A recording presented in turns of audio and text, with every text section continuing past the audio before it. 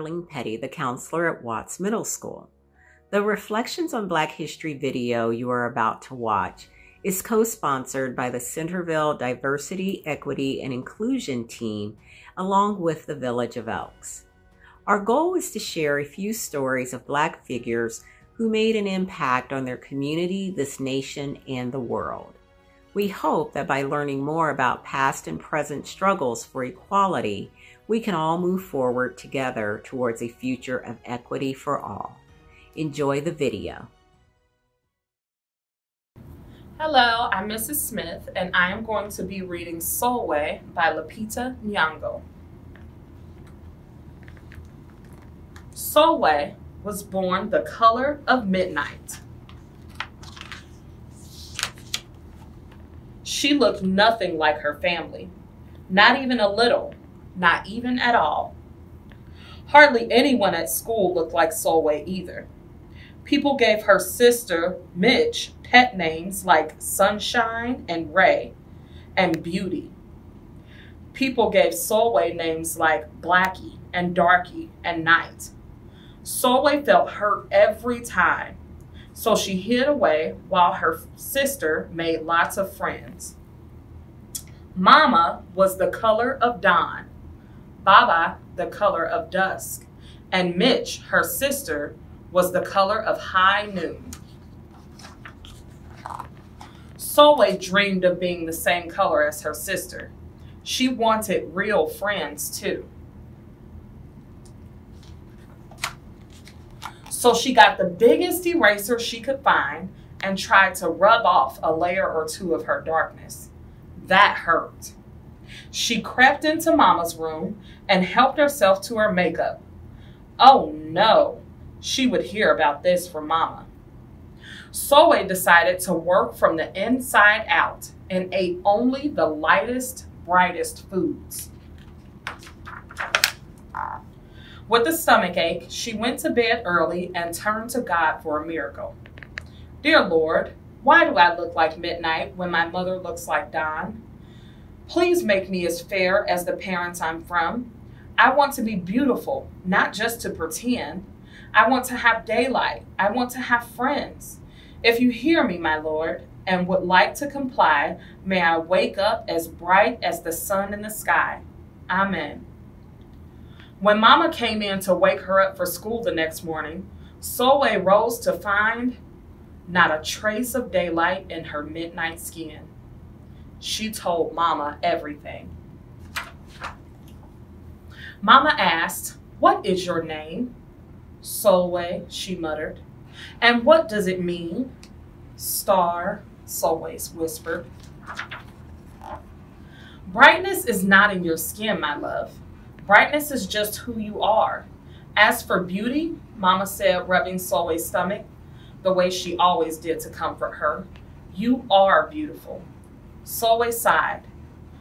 Well, you are beautiful to me, but you can't rely on what you look like to make you feel beautiful, my sweet. Real beauty comes from your mind and your heart. It begins with how you see yourself, not how others see you. Now up you get and out you go.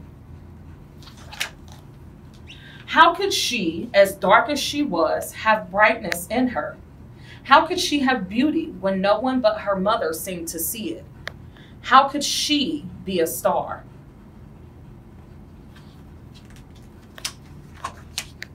That night, a shooting star appeared at Sulwe's window. The night sent me, the star said. Come with me. Sulwe hopped onto the star and off they went.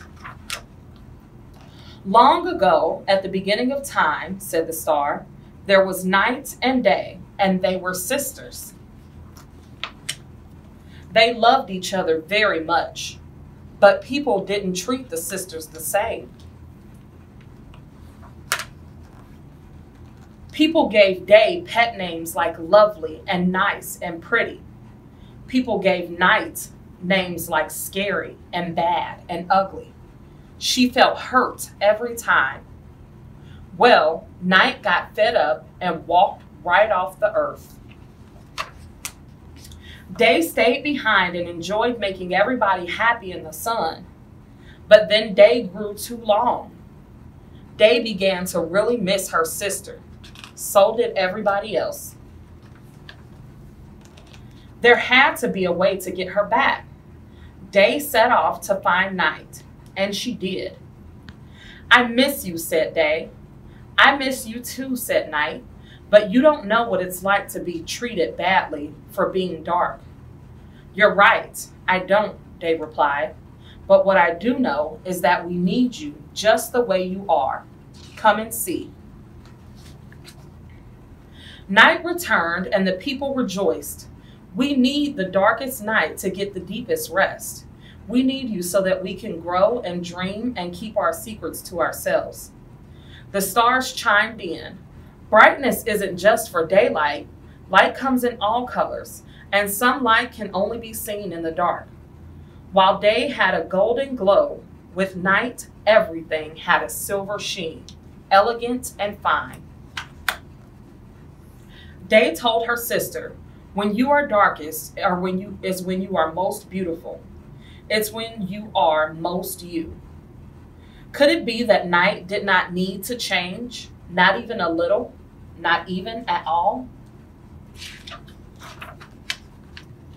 Now that night and day were back together, a little bit of night returned to day in the form of shadows, and a little bit of day returned to night in the form of moonlight.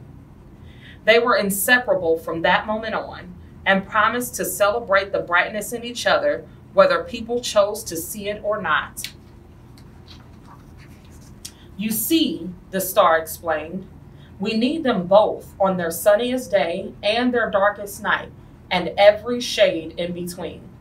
Together, they make the whole world we know light and dark, strong and beautiful. Sulwe rose the next morning beaming. There would be no hiding anymore.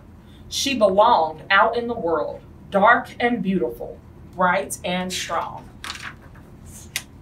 And if she ever needed a reminder of her brightness, she could look up at the sky on the darkest night to see for herself. Sulwe felt beautiful inside and out.